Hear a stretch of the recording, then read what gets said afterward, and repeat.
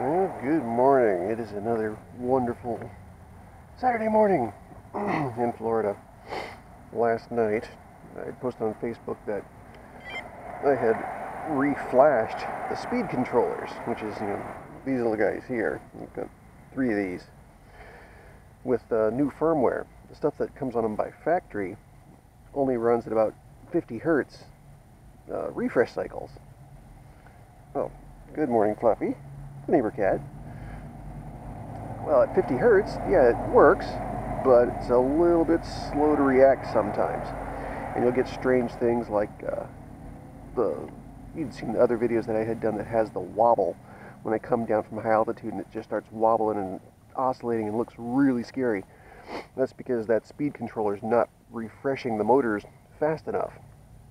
So, I had to work out a bug last night the wire that I picked up was for a different brand programmer, so they weren't quite the same. There's actually one pin different. So I had to cut the cable and flip it. Not a big deal, but it's always fun to try to find that stuff. So, and also now you know it's flashed because the music's different now. So completely, completely different sound than what it was before. Now, Fluffy, you're gonna need to move. she is about fearless.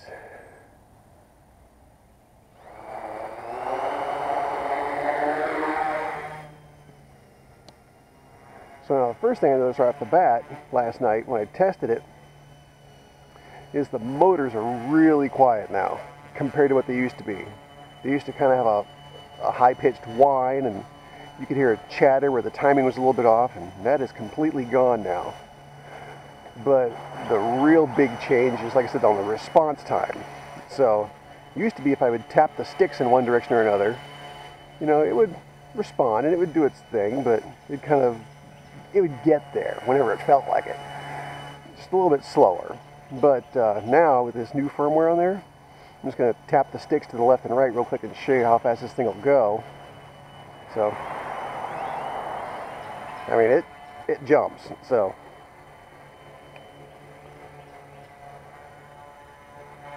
the other thing that you'll I noticed is the throttle response.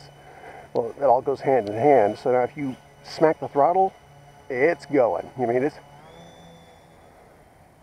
I just barely tapped that and it's taken off.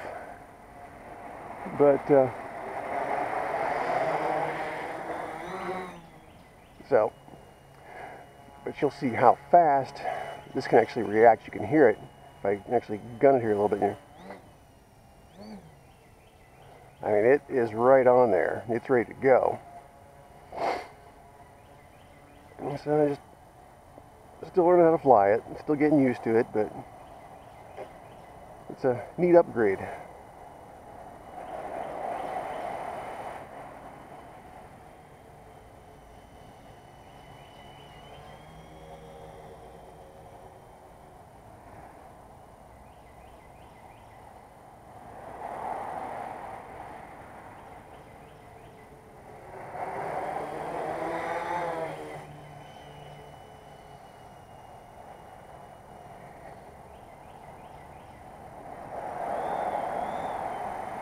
I've also flattened out the center of the, uh, the throttle curve a little bit.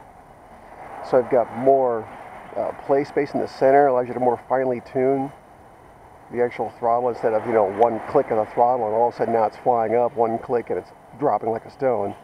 So there's a wider response. So I've also got to kind of retrain myself on where to hit that throttle when I need it to recover from various situations. Also looks like now that the motors are more responsive, I need to tweak the center a little bit. Actually, that's, there it goes, just a little bit of left drift. So let's put this down real quick and tweak that.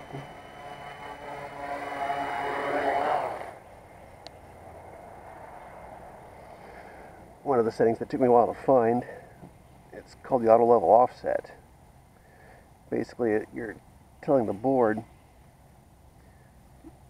this helicopter doesn't sit exactly level, so you can adjust it a little bit to kind of tell redefine just a slight bit what center or what level is. There we go.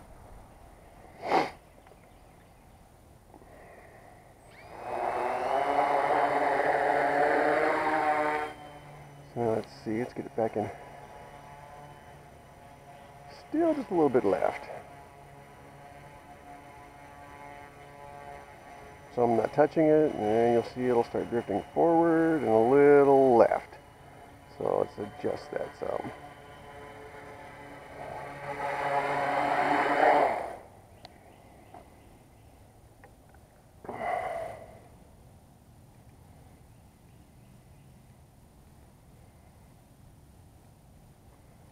Positive numbers go right.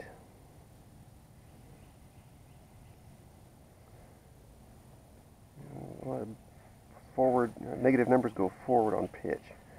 So we'll hmm, back that down a little bit.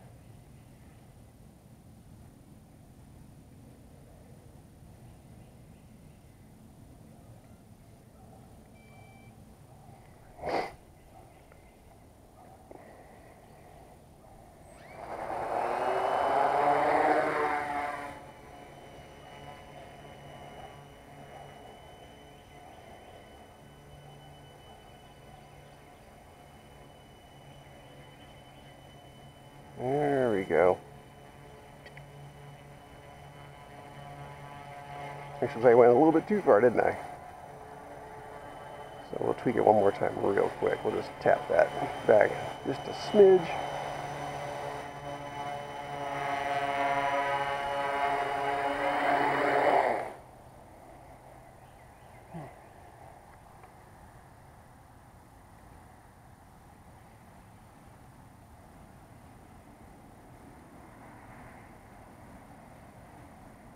Okay.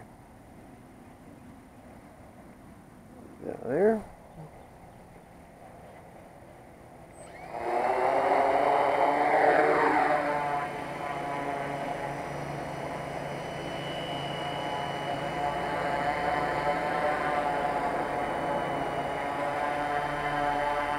Saturday morning traffic. Okay, he wants to park there, so we'll let Don get in there.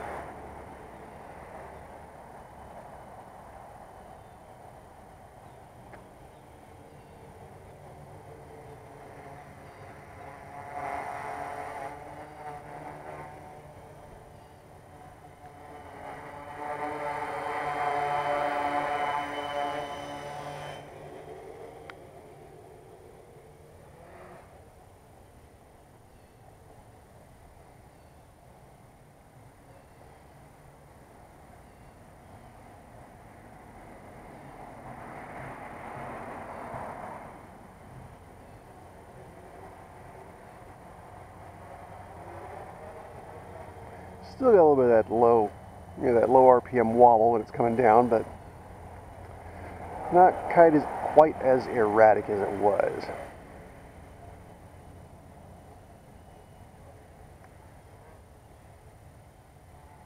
So overall, though, I'm happy with it.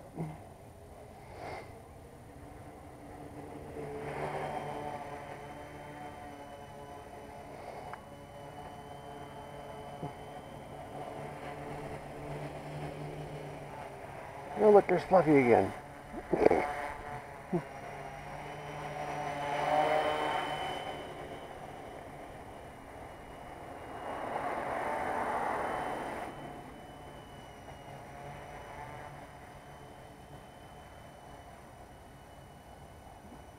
Give her the hair dryer treatment.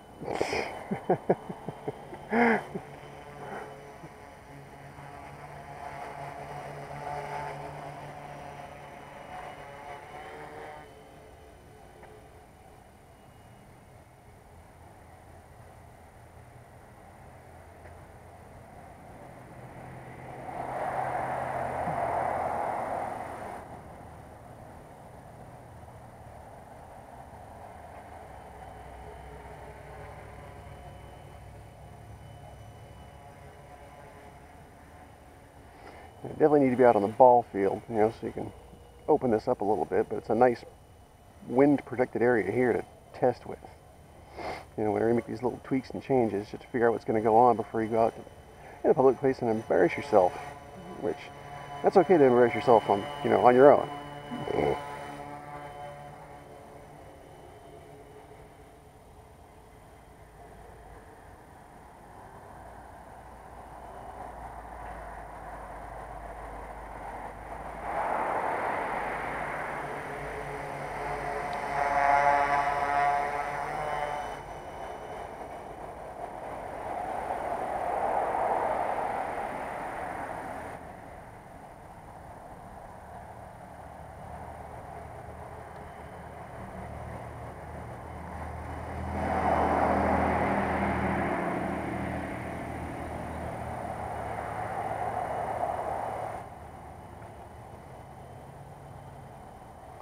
Still for the most part flying it with the auto level on because it's nice to be able to just you know just to you know let go and know that it's not going to be going doing something cr- totally crazy. It's not going to be going upside down in some random direction. But uh, because it is a helicopter type aircraft you know once you let go it's going to keep drifting in that direction until drag and other forces stop it. So you still have to do that. Now when we're talking about auto level though so if I lean it over, let go, it comes back to level and kind of coasts. Or I lean it the other way and it comes back to level and it coasts. But if we turn auto level off, say it, so far it looks the same, right? But when you tip it, it stays tipped. So let me get it out here someplace here, right? So if I take it and I lean it over to the left, when I hit left and then let go of the stick, it's gonna stay that way. So and it's going to keep on going. So it slowly drifts back to center, but that's a tweak on my part I can do. But yeah, so you're playing the um, marble on a pin trick, you know, trying to keep this thing from going crazy. You're doing all the corrections that the auto level takes care of for you. So just those little movements, but you're doing it all the time when it's turned off. Just little things. The wind will start nudging it and you got to bring it back.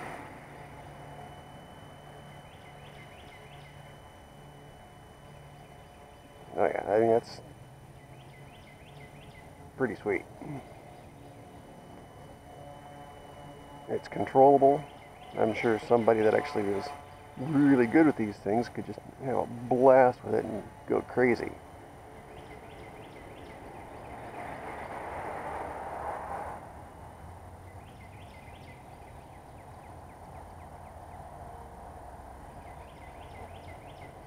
You see, they uh, haven't finished pruning the trees yet. They've only done half of them, and that was about a week and a half ago. The one that ate the prop last week in the video. Or two weeks ago, it may have been, huh?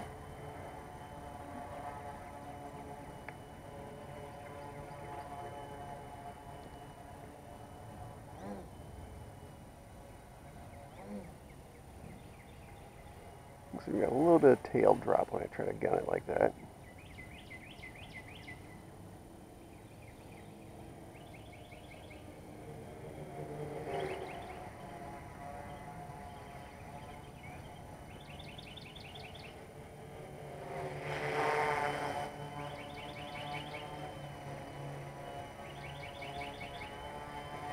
I'm sure the neighbors like it when I'm flying this thing around their cars.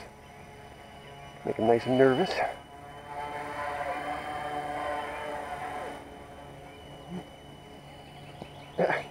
Now Crystal's gonna say hi to the kitty cat. she likes that one.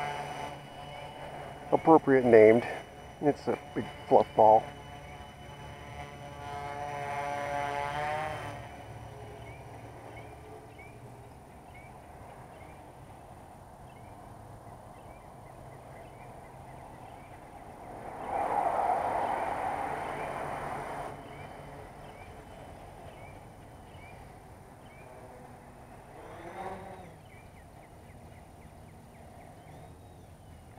I might need to bring that throttle up on the third motor. 'cause it seems to want to tip backwards a little bit.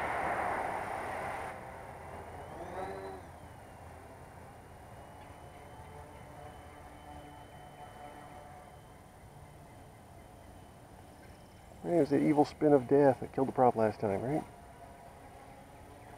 That's the other difference between a, uh, a quad and a tri. With that tail tilt, Let's see if we can get it in a good spot where you can see it.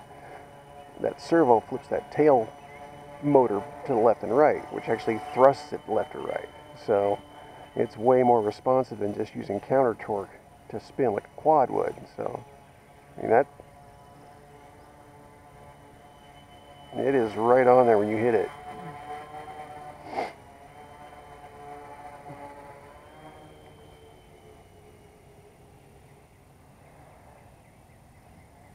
Oops. I'm thinking I didn't put the battery monitor on there.